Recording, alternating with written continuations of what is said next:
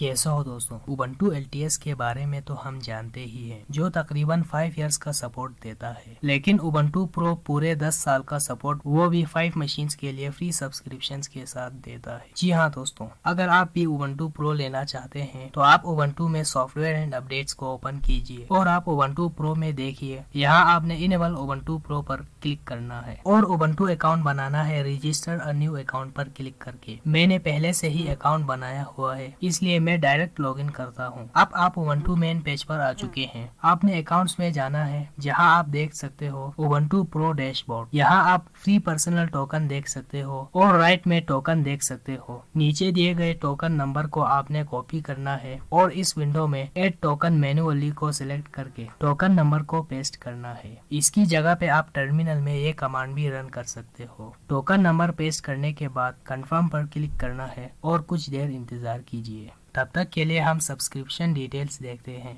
यहाँ देख लीजिए आप कमर्शियल यूज़ के लिए 500 डॉलर बिल्स है, लेकिन पर्सनल सब्सक्रिप्शन के लिए फाइव मशीन्स पर आप फ्री यूज़ कर सकते हो। तो देख लीजिए टू प्रो फाइनली इनेबल्ड हो चुका है। अब आप लाइव सिक्योरिटी पैचेस हासिल कर सकते हो। 2300 उबंटू मेन पैकेजेस और 23000 उबंटू यूनिवर्स पैकेजेस मिलते रहेंगे 2034 तक।